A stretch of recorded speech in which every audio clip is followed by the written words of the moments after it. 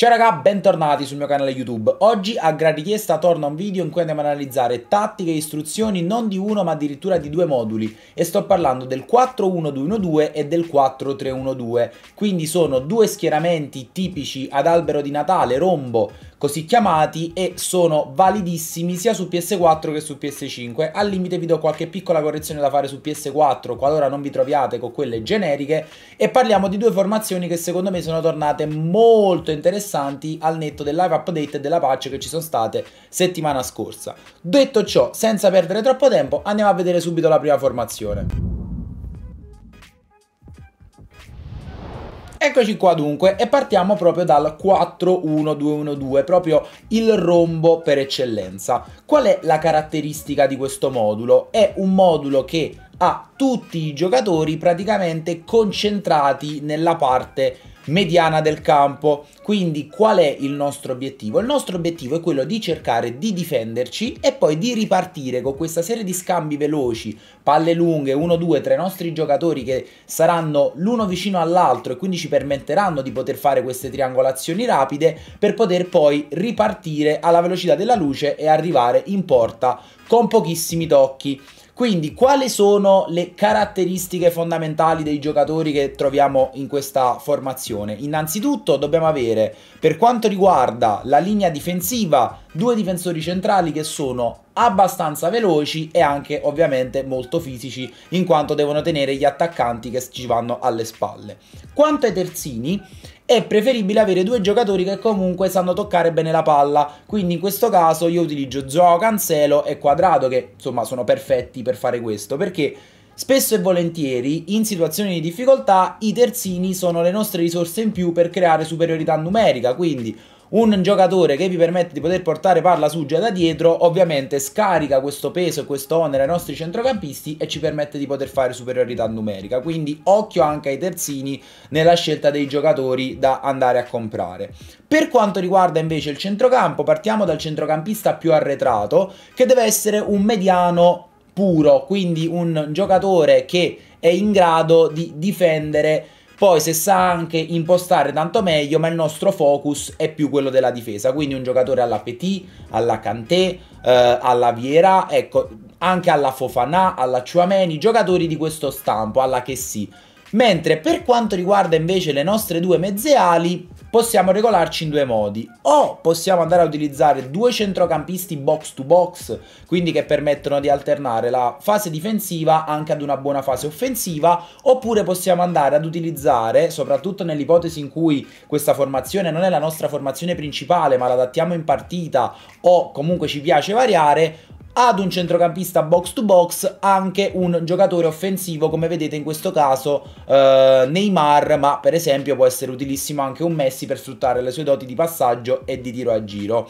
Quindi queste le caratteristiche per quanto riguarda le due mezze ali per quanto riguarda il nostro trequartista invece è essenziale avere un giocatore molto agile un ottimo passatore deve essere, se poi ovviamente è in grado di finalizzare tanto meglio perché il nostro trequartista sarà l'uomo in più all'interno dell'area di rigore per togliere i difensori dalle nostre due punte e io preferisco avere un giocatore che abbia 5 stelle di skill per avere quel pizzico di imprevedibilità in più che aiuta sempre.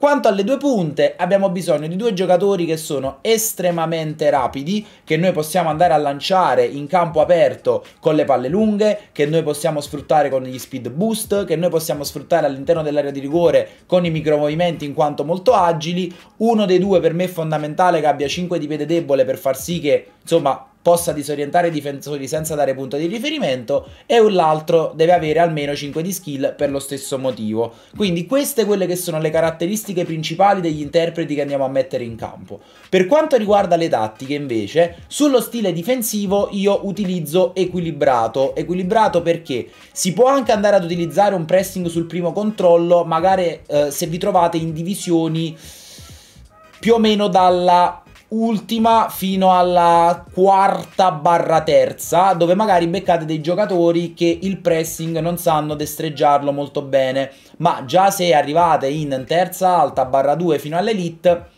Col pressing con questo modulo rischiate di rimanere troppo scoperti, quindi fate attenzione. Ampiezza 50 per evitare di creare voragini in mezzo al campo, invece la profondità utilizzo 70 perché quest'anno ormai le difese stanno altissime già di loro, quindi cercare di schiacciarle con una profondità troppo bassa onestamente non mi sembra una scelta intelligente e poi con un modulo come questo il nostro obiettivo è quello di cercare di recuperare il pallone quanto più alti possibili per innescare la nostra ranatela di passaggi veloci e cercare di arrivare in porta con questi scambi scambi rapidi. E a tal proposito, proprio in materia di scambi rapidi, per quanto riguarda la costruzione della manovra, utilizzo manovra veloce, che come dice appunto il preset, questa tattica fa avanzare i giocatori per costruire più velocemente la manovra. Occhio però a non perdere palla perché potremmo essere vulnerabili. Infatti, nel momento in cui andiamo a perdere palla in una zona pericolosa del campo, dobbiamo stare molto attenti poi in fase difensiva, perché altrimenti potremmo essere scoperti perché la nostra manovra veloce avrà tirato su tutti i nostri giocatori alla ricerca di questa profondità e questi scambi rapidi come vedete anche nel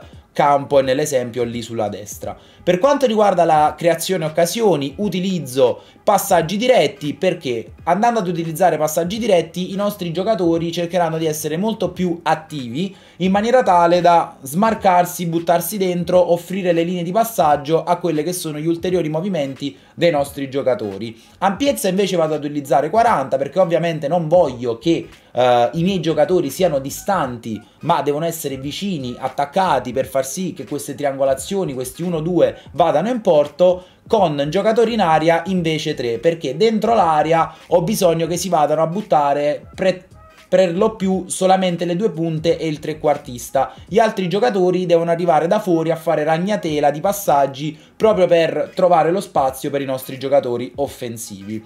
Per quanto riguarda le istruzioni, partendo dalla linea di difesa, i due terzini ho resta dietro in attacco e sovrapponiti. Sovrapponiti non vuol dire partecipa all'attacco, ma vuol dire che quando andranno magari ad essere chiamati da voi a fare una sovrapposizione, non l'andranno a fare per vie interne, ma per vie esterne, quindi cercheranno di aggirare il terzino e l'esterno avversario offrendovi una linea di passaggio molto più pulita.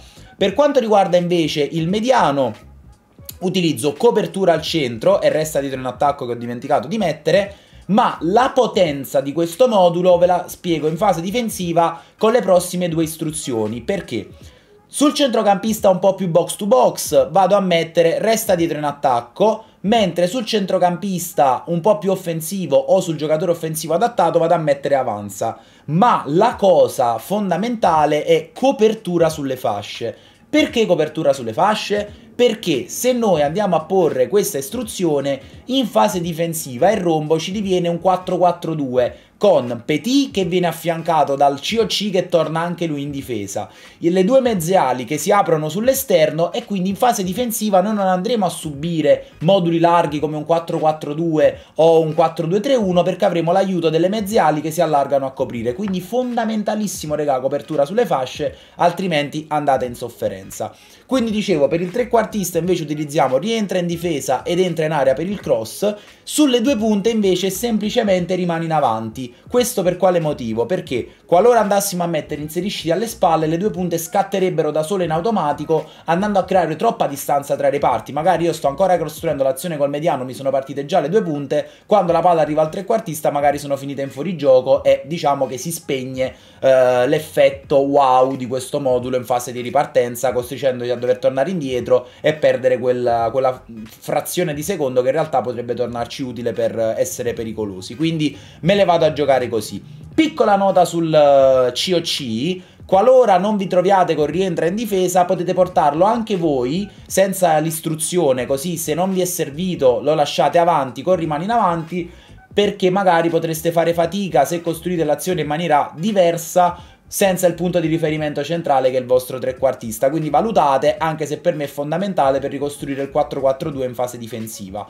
Quanto al piccolo accorgimento da fare su PS4 se non vi trovate, volevo dire che per quanto riguarda l'ampiezza andrei a mettere qualcosa di eh, ridotto, quindi tipo un 45 e sulla profondità invece un 55. Questo perché su PS4 gli spazi sono più ampi, anche se comunque con gli ultimi aggiornamenti c'è stata un po' di introduzione di CPU da quello che mi avete detto. Quindi questo questo per quanto riguarda il 4-1-2-1-2. Per quanto riguarda il 4-3-1-2 invece le differenze sono veramente minime. Cos'è che va a cambiare tra queste due uh, formazioni? Il fatto che le mezze ali siano molto più strette rispetto a, al mediano che è anche in una posizione un po' più avanzata, quindi dà ulteriore supporto. Quindi che cosa faccio? In questo caso vado a ridurre l'ampiezza difensiva perché tanto eh, i giocatori sono ulteriormente stretti e vado a fare densità. Lascio 70 di profondità, vado a togliere manovra veloce perché tanto ho già quel giocatore un po' più avanzato non ho bisogno di chiamarmelo io con la manovra veloce a uh, salire per dare una mano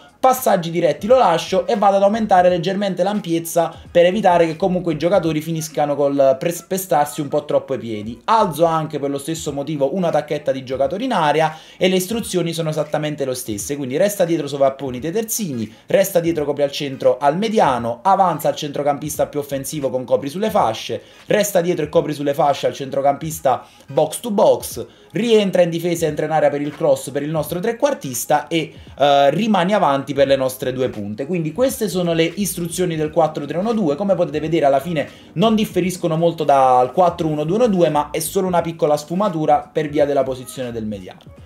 Quindi niente raga, per questo video è tutto, fatemi sapere se proverete queste tattiche nei commenti, Cerchiamo di uh, argomentare se avete provato o meno queste due formazioni. In descrizione trovate il link della piattaforma Viola dove sono live ogni giorno. Io vi auguro una buona giornata. Antonio Riberoschi, ciao!